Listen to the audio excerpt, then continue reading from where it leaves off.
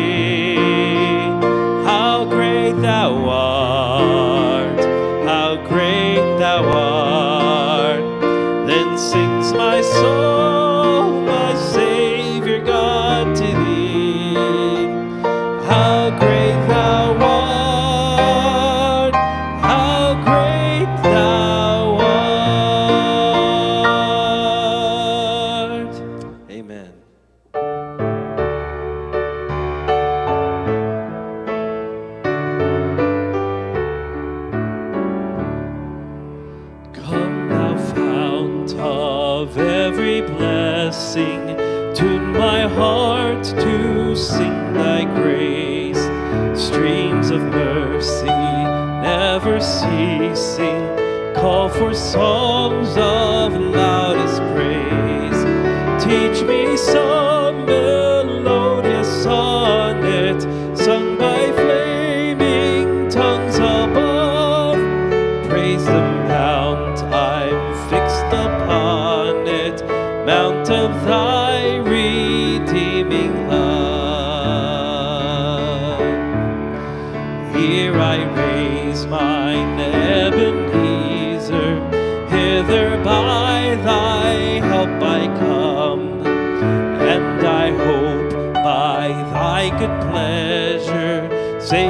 to arrive at home. Jesus sought me when a stranger, wandering from the fold of God, he to rescue me from danger interposed his precious blood.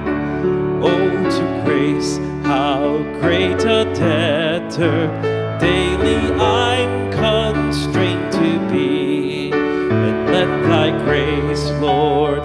A fetter, bind my wandering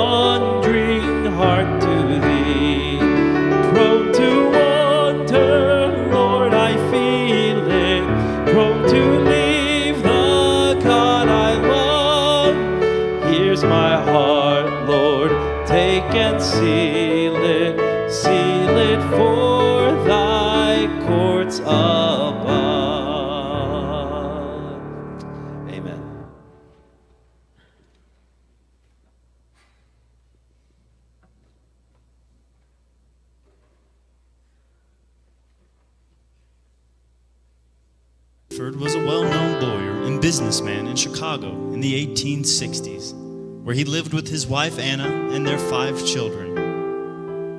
He had invested heavily in real estate along the shores of Lake Michigan. He was a prosperous man and a devout Christian. However, in 1870, a series of events began to turn Horatio's world upside down.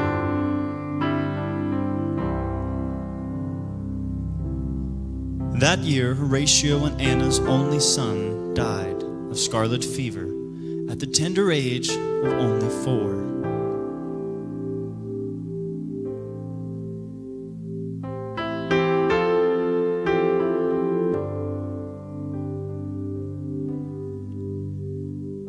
A year later, while the Spaffords were still grieving the loss of their son, the Great Chicago Fire broke out and destroyed nearly every one of Horatio's investments. His entire life savings was gone.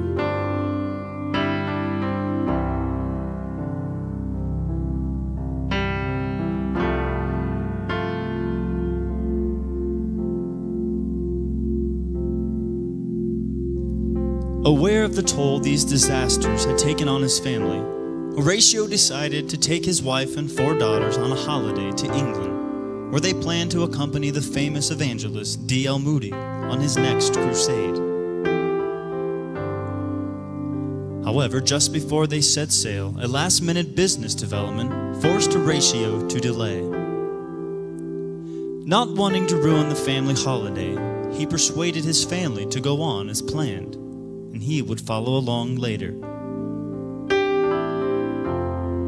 With this decided, Horatio stayed in Chicago while Anna and the girls boarded the French steamship Ville du Havre to set sail for England.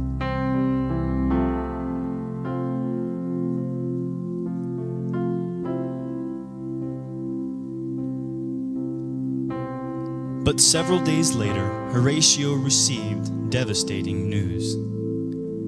The Ville du Havre had been struck by an iron sailing vessel from England. The ship sank in only 12 minutes, claiming the lives of 226 passengers. It was the worst disaster in naval history until the sinking of the HMS Titanic 40 years later.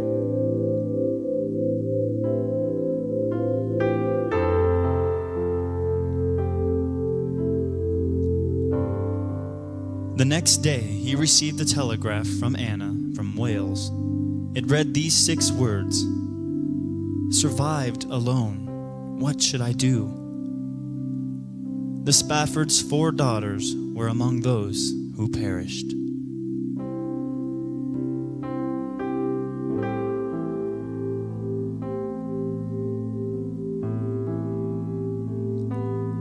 After hearing the terrible news, Horatio boarded the next ship out of New York to join his bereaved wife.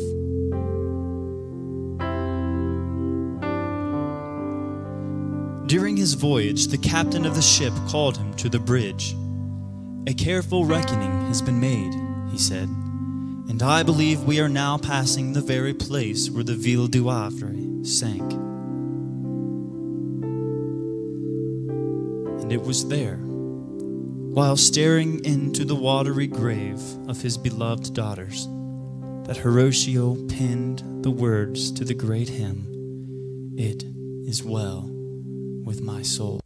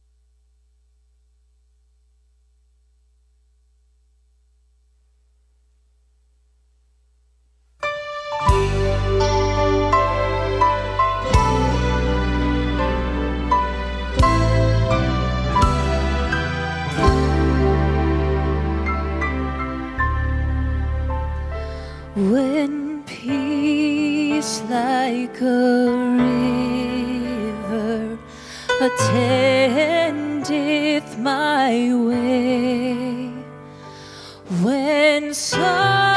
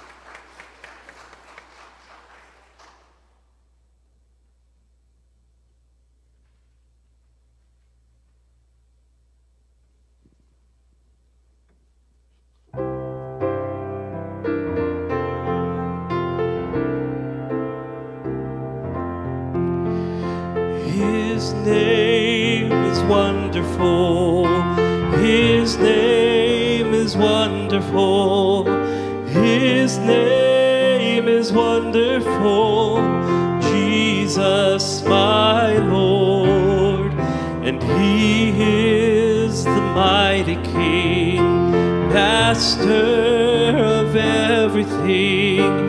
His name is wonderful, Jesus my Lord. He's the great shepherd, the rock.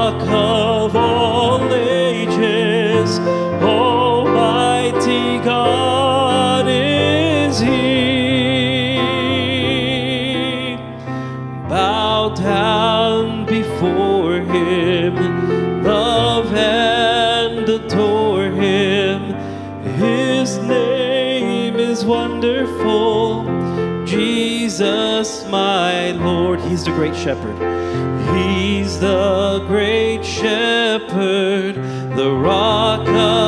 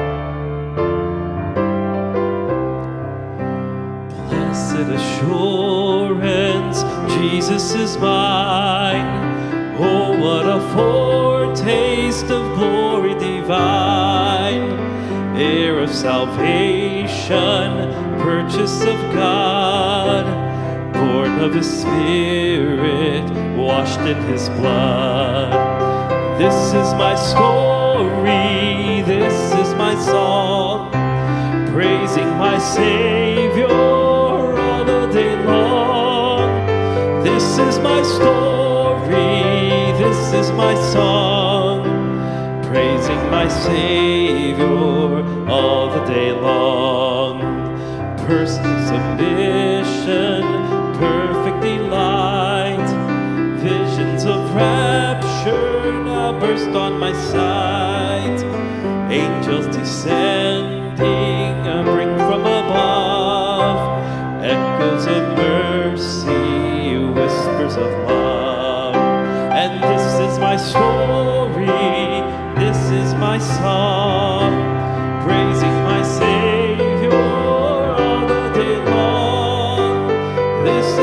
soul.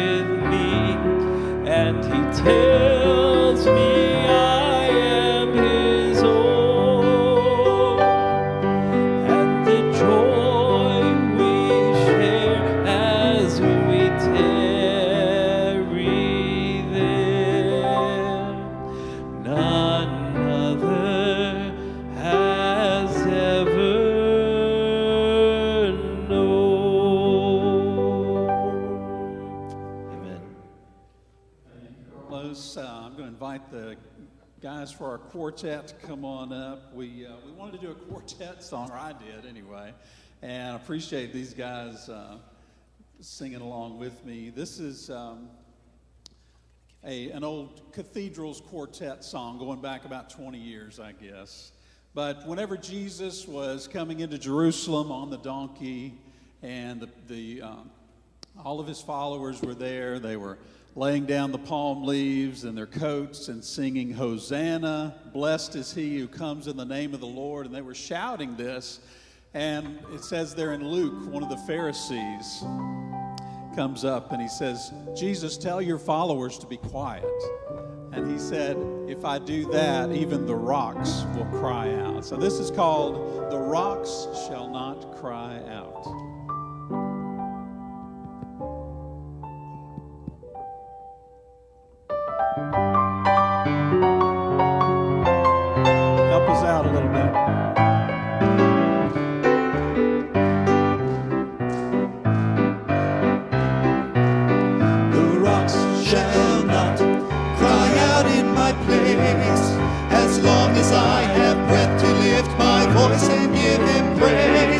As long as I can make a joyful noise, I'll sing and shout. And never let the rocks cry out. The rocks shall not cry out for joy is mine. I will lift my voice.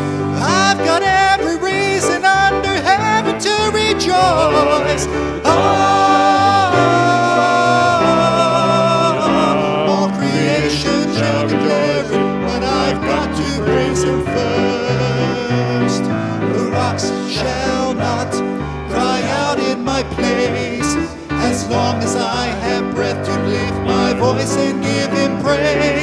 As long as I can make a joyful noise, I'll sing and shout and never let the rocks cry out. I lift my voice and sing all praise to God. Glory to His name.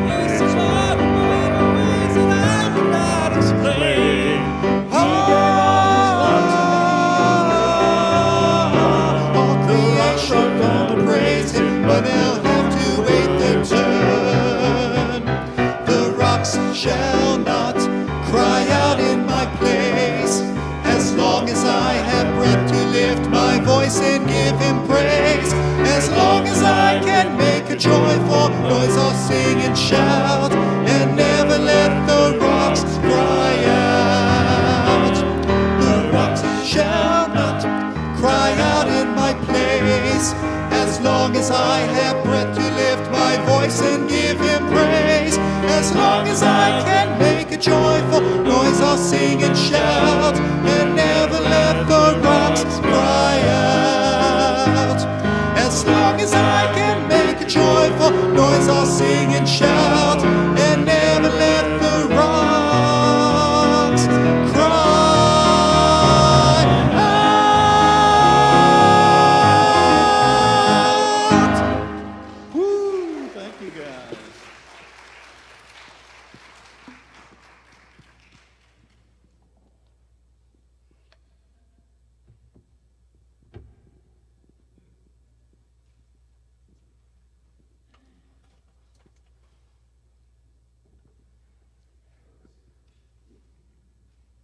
Let's keep up with that old Southern gospel sound. So we're going to sing the next one. It's going to be I'll Fly Away.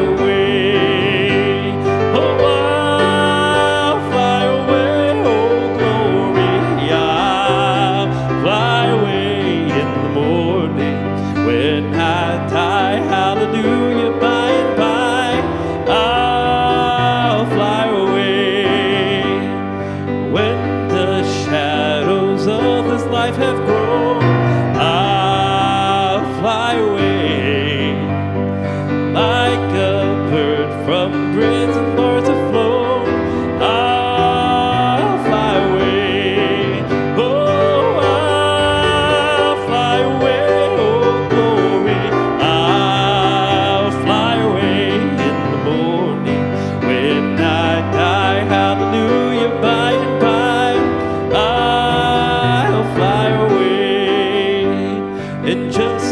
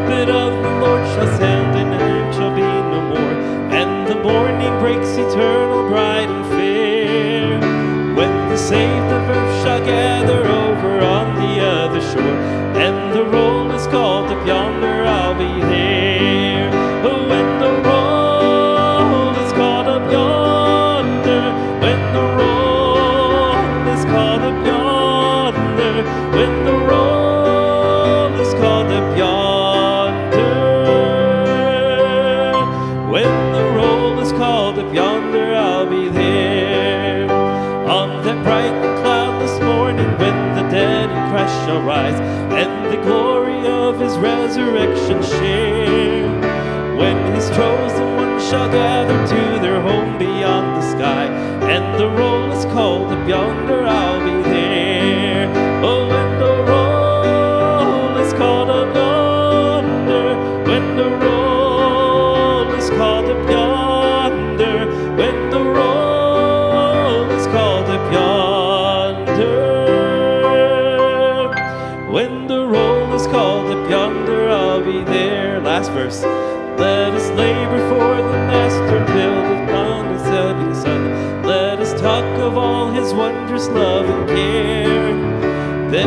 all of life is over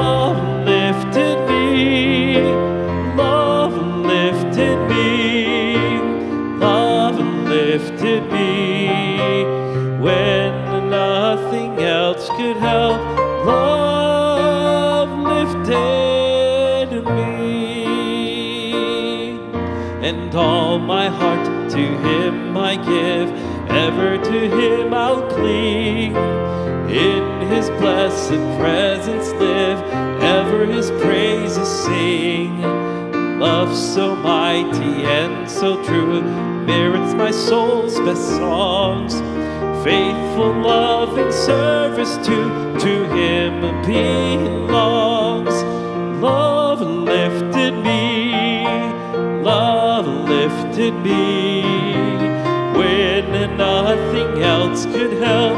Love lifted me.